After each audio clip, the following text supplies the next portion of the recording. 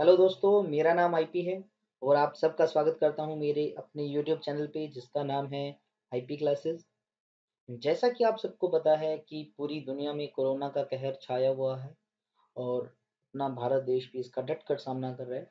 आशा करता हूँ कि आप सब भी स्वस्थ होंगे और इस बीमारी से लड़ने का एकमात्र उपाय कि घर पे ही रहे stay at home stay safe तो इस लॉकडाउन के दिनों में आपकी पढ़ाई को नुकसान ना हो इसीलिए मैं लेकर आया हूँ कंप्लीट फिजिक्स की क्लासेस जो कि अप टू इलेवेंथ और ट्वेल्थ क्लास की होंगी। तो इसी के लिए मैंने स्टार्ट की है एक कंप्लीट सीरीज़ जिसमें हम पढ़ेंगे कंप्लीट फिजिक्स जो कि आपके काम आएगी। आपके हर तरह के कम्पिटिटिव एग्ज़ाम चाहे वो आईआईटी हो, चाहे वो नीट हो, अगर आप एनडीए की तैयारी कर रहे हैं, चाहे वो एयरफोर्स हो, चाहे नेवी हो, या इवन आप इलेवेंथ या ट्वेल्थ क्लास के अंदर पढ़ रही हैं तो ये कंप्लीट सीरीज़ आपके बहुत काम आएगी।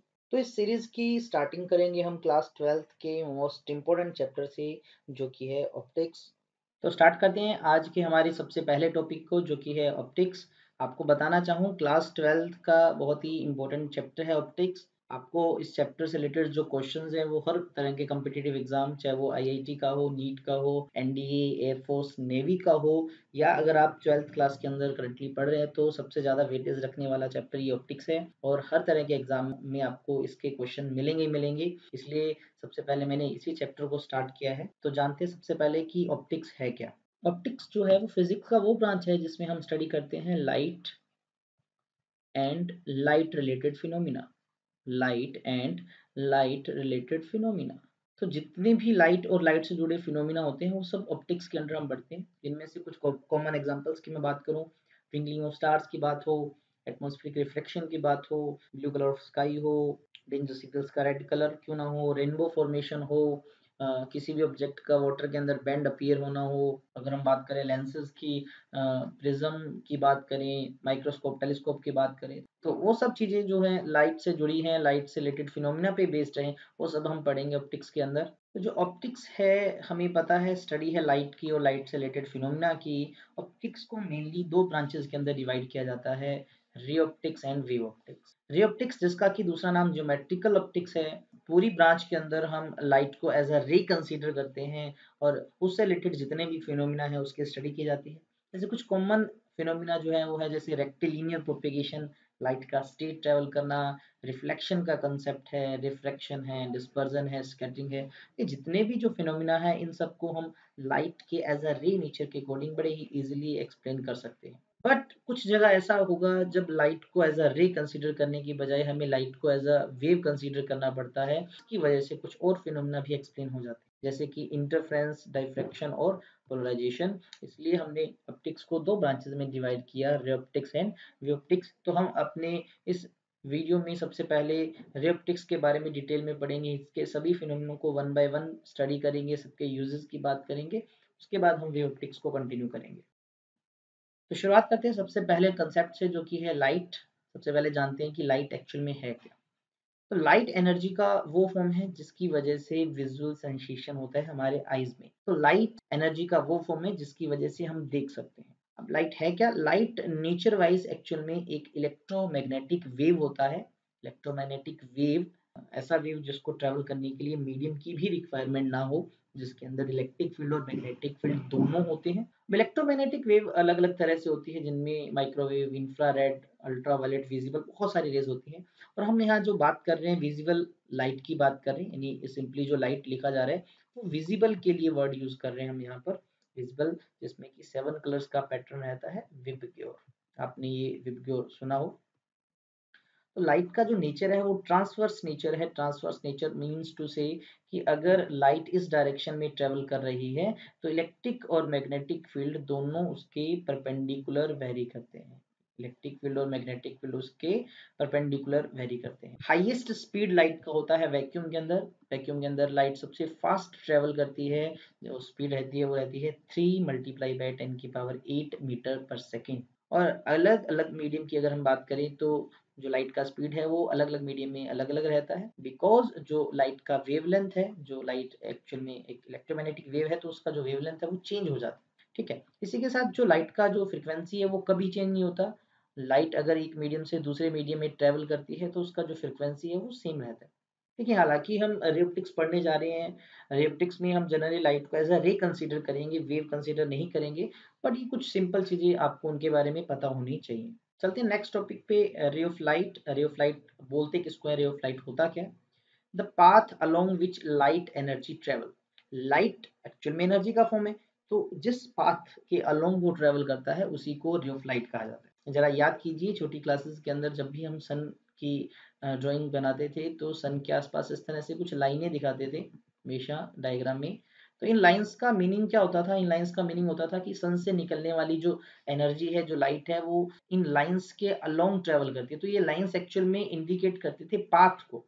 Path along which light energy travels तो उन्हीं लाइट की रेज को, उन्हीं लाइंस को हम रे ऑफ़ लाइट के नाम से बुलाते हैं। रे ऑफ़ लाइट कहा जाता है। कुछ फैक्ट्स की बात करें तो सन से अर्थ तक लाइट को आने में जो टाइम लगता है वो 8 मिनट 19 सेकंड के आसपास का लगता है। अगर हम बात करें मून से अर्थ की तो मून से अर्थ तक लाइट को आने में 1.28 सेकंड के आसपास लगते हैं। नेक्स्ट टॉपिक की बात करें, beam. Bundle of ray, of light. Light की रेज का जो बंडल होता है, उसको हम बीम के नाम से जानते हैं, बीम बोलते हैं उसको।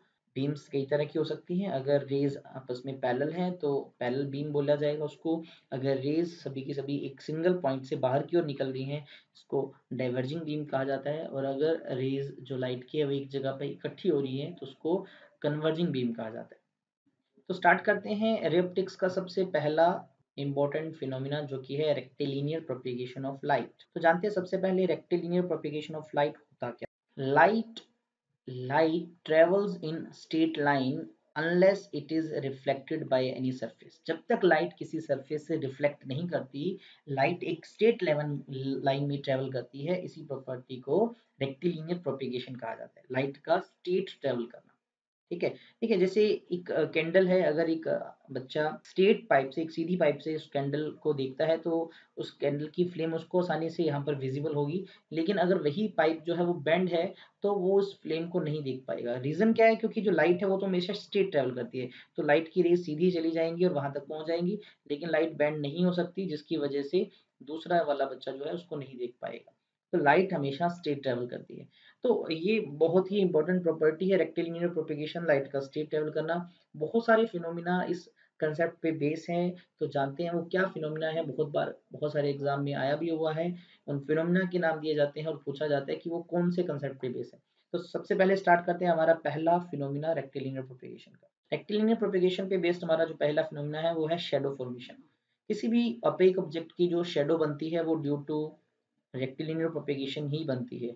अब सपोज़ दैट ये एक एक ऑब्जेक्ट है, बोल आप देख सकते हैं कि अगर इस तरफ़ से लाइट की रेज आती हैं और हमें पता है लाइट की रेज स्ट्रेट ट्रेवल करती है, इसलिए जो रेज सीधी हैं वो निकल जाएँगी बट जो इससे टकराएँगी वो आगे तक नहीं पहुँच पाएँगी। जैसे ये वाली रेज भी आगे नहीं जा पाएगी, ये भी नहीं जा पाएगी बट यहाँ ऊपर से लाइट की रेज निकल जाएँगी, जिसकी वजह से। अब देखिए ये वाली रेज है वो पीछे नहीं जा पाएँगी, इसलिए पीछे जो है वो शेडो बन जाएगी।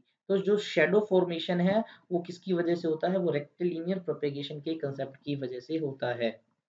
तो बात करते हैं हमारे दूसरे एग्ज़ाम्पल की, जो कि बेस्ड है रेक्टिलिनियर प्रोपेगेशन पे, जो है एक्लिप्स सोलर हो या लुनार हो। ग्रहण की बात करें हम, चाहे सूर्य ग्रहण की बात करें, चाहे चंद्र ग्रहण की बात करें तो दोनों का जो एक्चुअल रीजन है, वो रेक्टिलिनियर प्रोपेगेशन ही है। आप देख सकते हैं कि जैसे जो सन है, उसकी जो लाइट है, वो सिर्फ़ इतने से पोर्शन से आ रही है, बाकी जगह से नहीं आ रही बिकॉज़ लाइट इससे टकरा गई।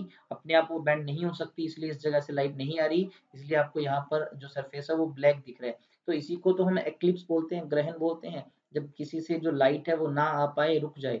तो सोलर या लुनार चाहे सूर्य ग्रहण की बात हो, चाहे चंद्र ग्रहण की बात हो, दोनों ही बेस्ड हैं कौन से फिनोमिना पे? रेक्टिलिनियर प्रोपिगेशन ऑफ़ लाइट पे। एक और ऑप्टिकल इंस्ट्रूमेंट रहता है पिन होल कैमरा जो जनरली छोटी क्लासेस की बुक्स में ही मिलता है आपको, देखने को, पढ़ने को मिलता है पिन होल कैमरा तो पिन होल कैमरा भी एक छोटा सा इंस्ट्रूमेंट है, जिसकी हेल्प से किसी भी ऑब्जेक्ट की इमेज को बनाया जा सकता है। तो ये जो पिन होल कैमरा है, ये भी रेक्टिलिनियर प्रोपेगेशन के कंसेप्ट पे ही बेस्ड है। इसमें एक बॉक्स के अंदर एक छोटा सा होल किया जाता है। तो आप पीछे वाली जगह पर किसी भी ऑब्जेक्ट की इमेज देख सकते हैं। उस छोटे से पोर्शन से जो लाइट है, वो अंदर एंटर करती है उसकी पीछे इमेज बन जाती है। तो अभी हमने बात की उन फिनोमिना की जो बेस थे रेक्टिलिनियर प्रोपेगेशन ऑफ़ लाइट के कंसेप्ट पर। कुछ क्वेश्चन हैं जो आज वाली क्लास के ऊपर बेस्ड हैं, इन सब के आंसर आप सबको कमेंट करने हैं और उनके जो सही आंसर होंगे, मैं वो आपको कल वाली क्लास के अंदर बता दूँगा। और अगर आप चाहते हैं कि आपको इसी तरह से बाकी टॉपिक्स की भी वीडियोस मिलती रहें तो आप, आपके, खुद के अपने इस चैनल आईपी क्लासेस को सब्सक्राइब करना मत भूलें। वीडियो को ज़्यादा से ज़्यादा लाइक करें, शेयर भी कीजिए ताकि ये वीडियो दूसरों तक भी पहुँचे। तो धन्यवाद, इसी के साथ आपका दिन अच्छा रहे।